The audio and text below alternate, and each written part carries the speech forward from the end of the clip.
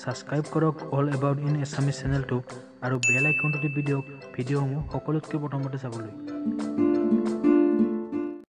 সকলো মানুহেই জন্মতেই একো একোটা মানৱিক শক্তিলৈ জন্ম হয়। পৃথিৱীৰ আন জীৱ জন্তুতকৈ মানুহৰ বুদ্ধি বহুগুণেই বেছি।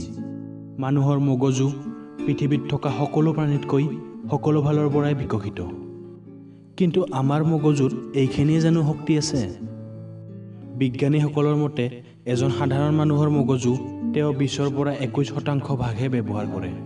বাকী প্ৰায় আশী শতাংশ বুদ্ধি আমি কেতিয়াও ব্যৱহাৰ নকৰোঁ।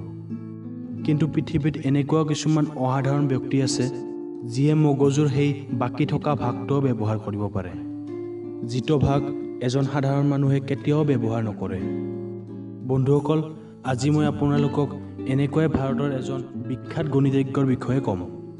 যাক গণিতৰ ভগৱান বুলি মানা হয়। তো আহক ভিডিঅ'টি আৰম্ভ কৰোঁ।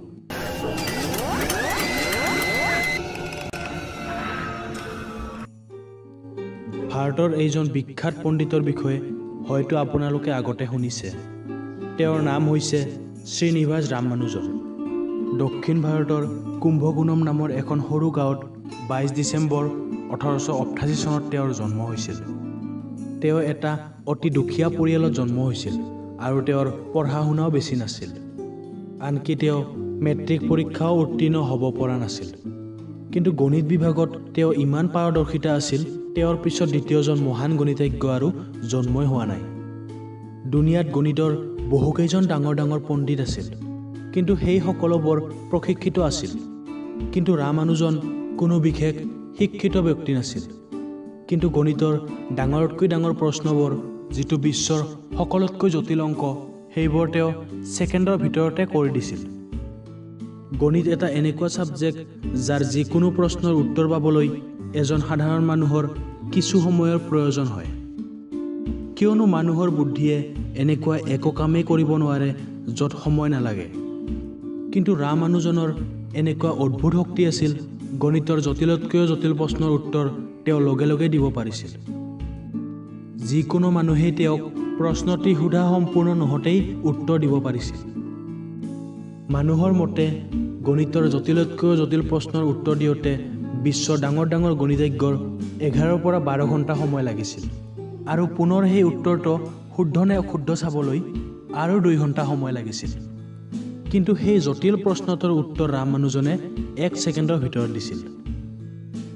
যেতিয়া ৰামানুজনৰ পাৰদৰ্শিতা গোটেই ভাৰততে বিয়পি পৰিছিল তেতিয়া সেই সময়ৰ সকলোতকৈ ডাঙৰ গণিতজ্ঞ যিয়ে কেন্দ্ৰীয় ইউনিভাৰ্চিটিৰ এজন প্ৰফেচাৰ আছিল তেওঁ ৰামানুজনক লণ্ডনলৈ মাতি পঠাইছিল। সেই বিখ্যাত প্ৰফেচাৰজনৰ নাম আছিল হাৰ্ডি। হাৰ্ডি বিশ্বৰ বিখ্যাত গণিতজ্ঞৰ ভিতৰত এজন আছিল। কিন্তু যেতিয়া তেওঁ ৰামানুজনক লগ পাইছিল তেতিয়া ৰামানুজনৰ আগত তেওঁৰ সৰু ল'ৰাৰ নিচিনা অনুভৱ হৈছিল। কিয়নো ৰামানুজনৰ এনেকুৱা অদ্ভুত শক্তি আছিল যাৰ বাবে বিশ্বৰ বিখ্যাত বিখ্যাত ডাঙৰ ডাঙৰ গণিতজ্ঞও হাৰ মানিছিল ৰামানুজনৰ মগজুৰ ওপৰত বহু ডাঙৰ ডাঙৰ বিজ্ঞানীকে ৰিচাৰ্চ কৰি গম পাইছিল যে তেওঁ যিকোনো প্ৰশ্নৰ উত্তৰ বুদ্ধিৰে দিয়া নাছিল কিয়নো তেওঁ ভাবিবলৈ সময় লোৱা নাছিল। বিজ্ঞানিকৰ মতে এই আচৰিত কৰ্মৰ পিছত তেওঁৰ অজাগৃত মনৰ শক্তি আছিল যি শক্তি ৰামানুজনৰ মগজুত গণিতৰ বিভাগত অতি সক্ৰিয় আছিল। পিছলৈ ৰামানুজন আৰু হাৰ্ডি এক ভাল বন্ধুত্ব স্থাপন কৰিছিল। কিন্তু ৰামানুজনৰ অতি কম বয়সতে মৃত্যু হয়। তেওঁৰ বত্ৰিছ বছৰ বয়সতে এক জটিল ৰোগত আক্ৰান্ত হৈ মৃত্যু হয়। যেতিয়া ৰামানুজন বেমাৰত পৰি আছিল তেতিয়া তেওঁৰ বন্ধু হাৰ্ডিক গণিতৰ বিশেষ চাৰিটা সূত্ৰৰ বিষয়ে কৈছিল। ইয়াৰে তিনিটা সূত্ৰ হাৰ্ডি জীয়াই থাকোঁতেই শুদ্ধ বুলি প্ৰমাণিত হৈছিল। হাৰ্ডিৰ মৃত্যুৰ আগত তেওঁ এখন কিতাপত লিখি থৈ গৈছিল যে ৰামানুজনে তেওঁক দিয়া চাৰিটা সূত্ৰৰ ভিতৰত তিনিটা শুদ্ধ বুলি প্ৰমাণিত হৈছিল।